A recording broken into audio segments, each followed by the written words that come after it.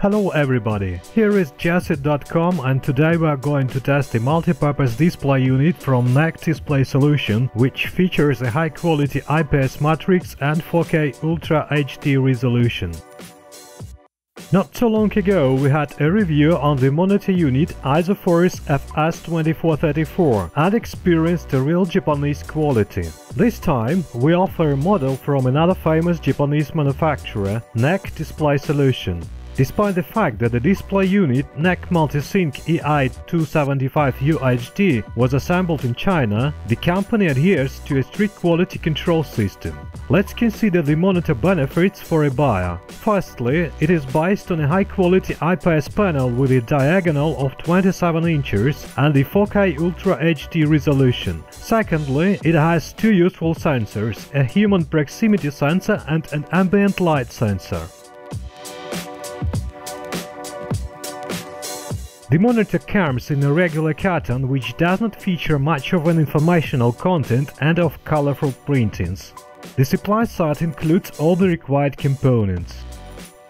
We should bring to notice the ControlSync cable that we haven't met before with any monitor unit. It implements an interesting technology of the same name. The monitor external interfaces include two 2.5mm ControlSync in-out connectors. The cable and the connectors are designed for transferring the settings to another monitor or this model setting from another one. It works in a very simple way. After a monitor calibration, you should activate the ControlSync technology and then the settings are automatically transferred to another unit and then to the others in chain order. In this way, you can connect up to 6 monitors and it will save the time for their adjustments if you just want all of them to display the same image quality.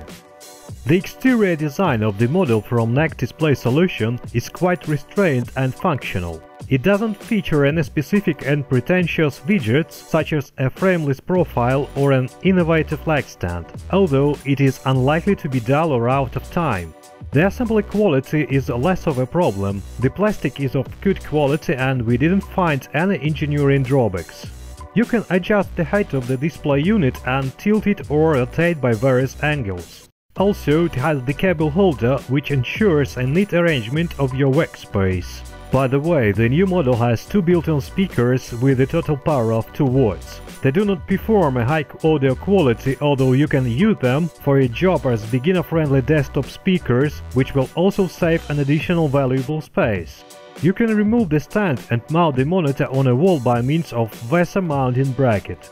A set of external interfaces includes video ports DVI-D, DisplayPort and HDMI, two 3.5mm audio jacks, two USB 3.0 ports, one USB 2.0 interface and two 2.5mm ControlSync in-out connectors. Also, there is the Kensington lock on the case.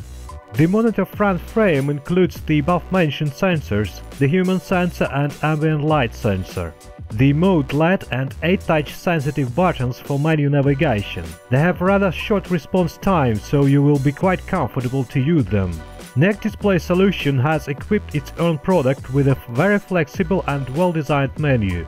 It presents an amazing variety of available features. You can find here tuning of standard parameters, activation of default color profiles, as well as adjustment of the built-in sensors and the mode light indicator, volume control, sleep timer configuration and many others. If desired, you can even feature CO2 saving and calculate economy cut with the automatic brightness control by indicating the electricity cost before. By the way, the human sensor and the ambient light sensor operation is quite correct and causes no complaints. In short, the menu makes a pleasant impression with its completeness and variety of function. The new product has 8 color profiles. In total, the default calibration is fairly good. The minimum brightness made 251.9, while the maximum 402.8 candelas per square meter, at the typical value claimed at 350 units. The static contrast ratio did not reach the nominal value of 1000 to 1 and settings of color rendition and Adobe RGB and sRGB color gamma are of a fair level, although nominally this monitor does not belong to the professional series. We should also draw your attention to DICOM SIM profile, which matches the medical standard and provides X-ray image viewing. All over again, this feature spotlights a high multitasking level of the tested monitor. In general, we should specify a very correct precise setting of color and shade mapping. Obviously, DICOM SIM profile had two indicators beyond the maximum value of 4, but the other settings are off the charts in relation to the recommended values. We had RGB levels within the normal range for such profiles only as sRGB, default, programmable and DICOM SIM for the most part. But as concerns 1, 2, 3 and 5 modes, then you can have a significant prevalence of one of the components featuring a substantial reduction of the second one. We are likely to consider that this was made by design to ensure more cold or warm image. Also, gamma curve graphs are not ideal, but there are no any critical comments. Profiles 1, 2, 3 and 5 and sRGB have gamma curves passing just a bit above the reference black line, which may cause a slight overlighting of gray tones and a partial loss of details in bright parts of the image. Default and programmable profiles have gamma curves fairly close to the reference black line. The further performance testing of NEC MultiSync EA275 UHD monitor was based on Profile 3. The brightness range was from 24 to 441 candelas per square meter, which should provide a convenient operation in a dark room and in the bright sunlight. As you can see, the maximum rate is significantly higher than the declared value of 350 units. The static contrast range from 811 to 1 to 827 to 1, which is slightly lower than the nominal value 1000 to 1. As you can see, the hardware calibration has yielded the positive results, such as an improved sRGB and Adobe RGB space coverage, the color temperature stabilization, an increased accuracy of color and shade mapping, as well as a significant improvement of RGB levels and gamma curves arrangement. Therefore, if possible, be sure to carry out the calibration. The file with the appropriate parameters is available via the link in the video description. The test with fill-ins did not reveal any crucial problems. Small backlight leaks can be observed around the screen on a black background only, but they do not significantly affect the comfort viewing.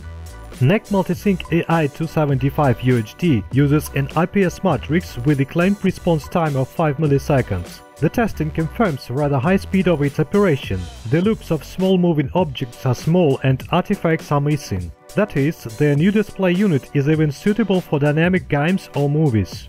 The new monitor implements an IPS matrix with the claimed viewing angles of 178 degrees although an uncomfortable whitening and a yellowish tint was observed when viewed from sharp angles diagonally. In fairness, we know that these are untypical viewing angles and the ergonomic stand will promote adjustment of the most comfortable screen position. And now it's time to line up the results.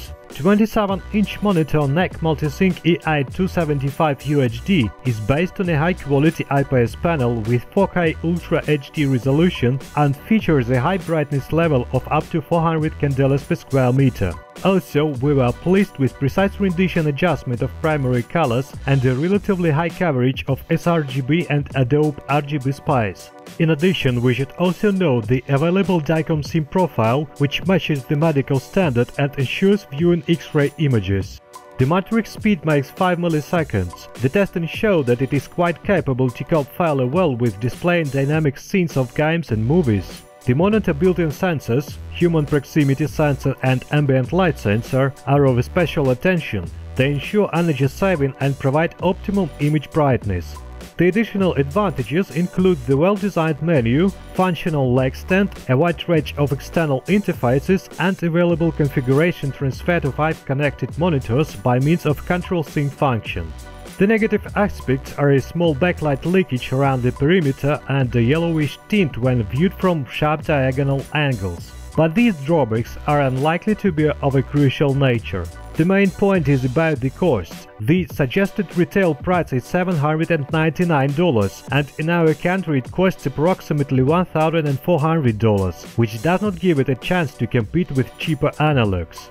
Best regards to you and do not forget to subscribe to our channel. Bye bye.